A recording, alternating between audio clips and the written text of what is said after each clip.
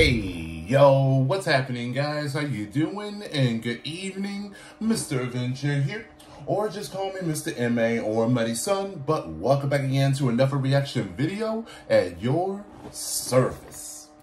What's happening, guys? Long day.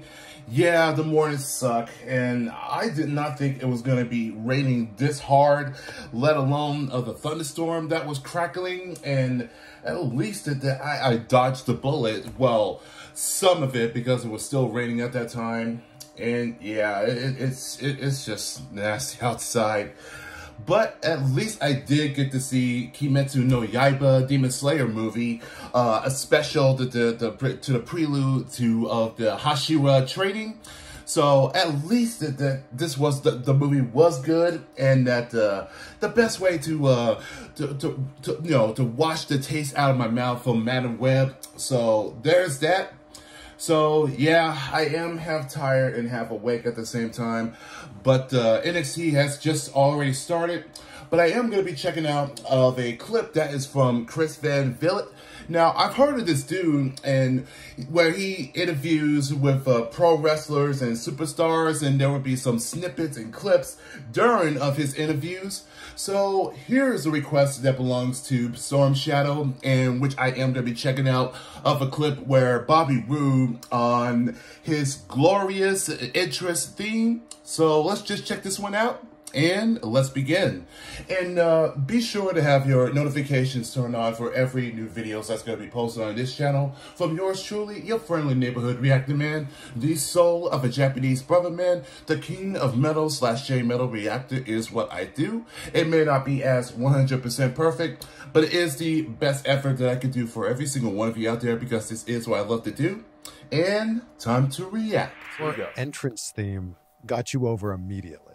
Hundred percent, hundred percent. And true or false? This was originally supposed to be the theme song for Shinsuke Nakamura. I believe so. Yeah, I believe so. Really? And I remember. Um, I think you're right. I remember just being. Uh, and it, look when I when I signed, I had no idea about this song. Right. I. We kind of talked. Uh, we being Triple H and I talked a little bit about like what I wanted to do and character wise and what where I was what I was doing at TNA and you know, the, I always like wearing the robes. I always like being like a throwback guy. Yeah. Not that I wanted to be Ric Flair, but I always just loved that look. Yeah. You know, Ah. and I wanted to bring the robe back.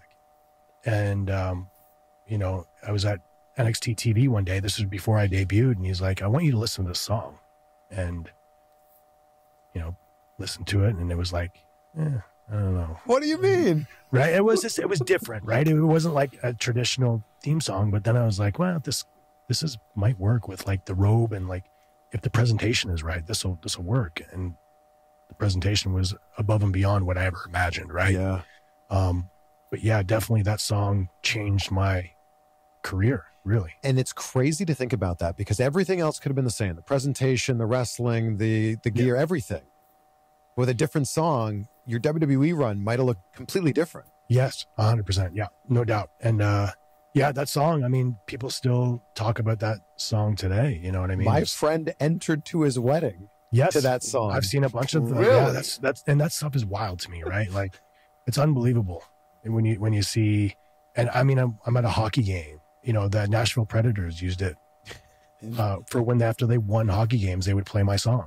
What's the story behind that song? It was just a, a song that they they created and they were waiting for the right person to I give it to. guess. I guess so. Yeah. It was just kind of sitting there in the in the in the library, apparently. And uh yeah, I was just lucky enough to get it. And then it turned into I loved that what what Johnny and Tommaso were doing with the glorious bombs. Yeah. Yeah. And that made it even like more of this thing. Yeah, yeah, yeah. We just did that as a joke, and the first one was such a hit that we just continued to continue to do them. It was, it was whenever we had some downtime in, in NXT on the on the road shows because we all traveled together on the bus, right? So Yeah. we'd always think of uh, creative ideas to things to do. That song is like the epitome of what your character was though.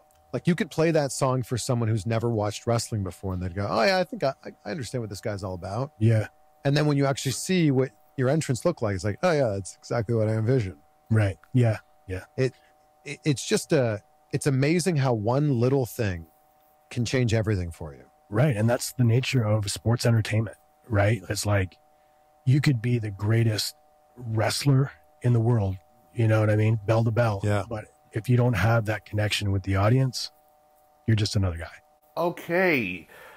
So the glorious int- interest theme was originally was going to be for Shinsuke, but uh, it just turned over to Bobby Roode. Okay, so that would explain it uh, how he got the the theme and through NXT and to SmackDown, and I could still instantly remember how the song plays and that he was in his prime after that, that his his contract with TNA that that did expire and that uh, making his debut and that instantly did put the, the, the the role of his character because the key word that is, that is just simply glorious because he is that guy who has all the, the, the talent, the ability, and the agility that that what makes him that being as glorious.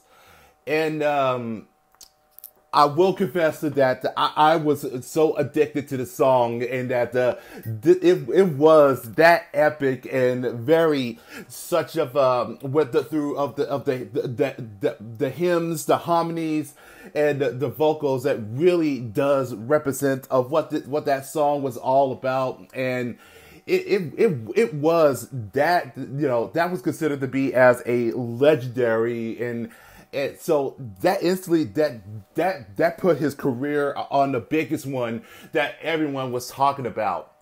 And I still can I still remember instantly a couple years back uh, when Matthew Reinhardt that, that uh, put his um you know doing his his singing promos and that into that that that, that interrupted Lee, and everything was pitch black, and then you hear that the, the piano keys were playing, and all I all I hear was that glorious.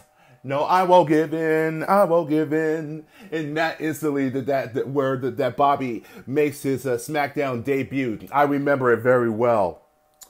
All right, so this is a uh, this is a very interesting of uh, information how did that the the glorious that that became that so attached to Bobby, but technically that it was a it wasn't going to be for Shinsuke. So cool beans. And uh, if you have not heard of uh, Chris Van Vliet, uh, then I encourage you to go check it out of his channel.